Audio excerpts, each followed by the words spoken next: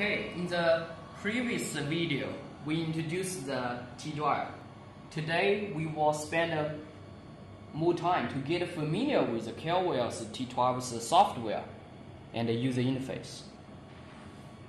So you can see the 12-inch display. This is the color display, touch screen, and also here you can see the full keyboard. Okay, but I really prefer to use the touch screen because uh, you know the touch screen makes everything so easy.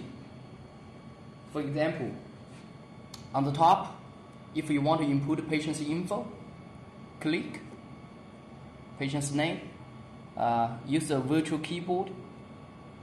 Uh, let's put uh, Max and technician is uh, Toby today. Toby. B-Y. Okay. So birthday is right, ID is right. I'm not going to put weight, height, and uh, blood pressure. Enter. Okay. So you can see max info, and um, also you can see some hints. For example, no paper. So what we do is that we are gonna load the paper. Today we will use the roller paper, but however you can use the Z Fold paper as well. This machine is compatible with both paper. Here is the printer. Here is the printer compartment. Take it off. This is a very small design. We have the spring inside, so uh, you can you, you can use two 10 millimeters paper or you can use two 16 millimeter paper. It is compatible. So you can see it's very easy to load the paper in this machine.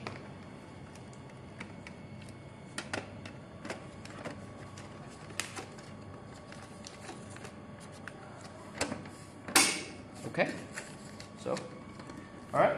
So next step is uh, you put the electrodes on the patient. You want to change some setting. For example, uh, you want to change the EMG filter. You don't need to go to the menu. You just press the shortcuts.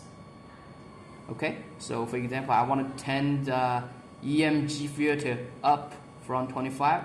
I'm going to change it to 45. And uh, I want to change the gain. Now it's auto. I want to change it to 5 millimeters per microvolts. I want to change the, uh, let me see.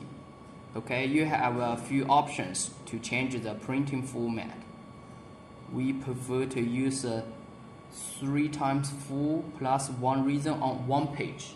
Okay? So uh, everything is ready.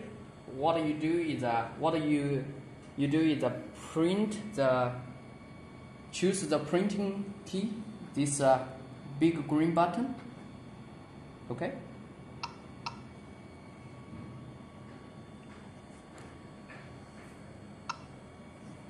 Okay, so uh, you can see uh, the machine will give you some hints. Sampling is it it's going to take uh, 10 seconds. Now it's analyzing. Finally, the recording. So uh, it prints. Okay.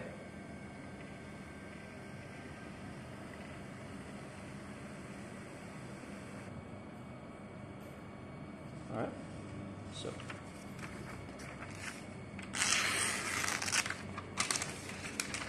Okay, this is a very nice report.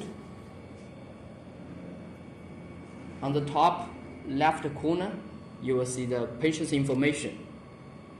On the right, you will see the measurement result, Minnesota code, and the interpretation result.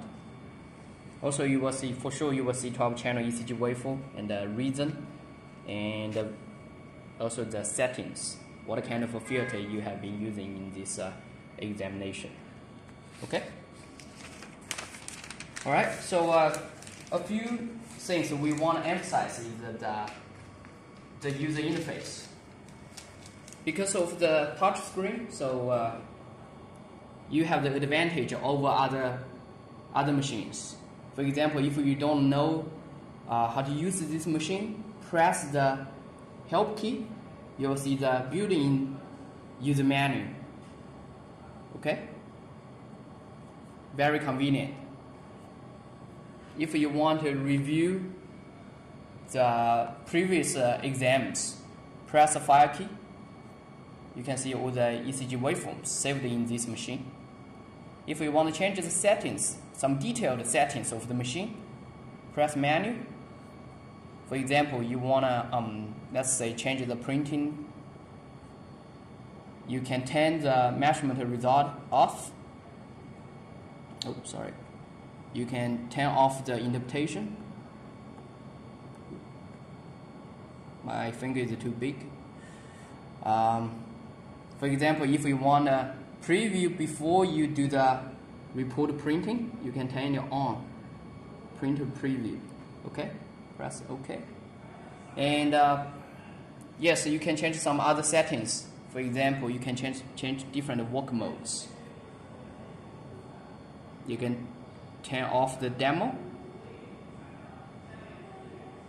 You can change the hot limits of this machine. Alright? So uh, that's all about the software. Really easy to use. Okay? Thank you.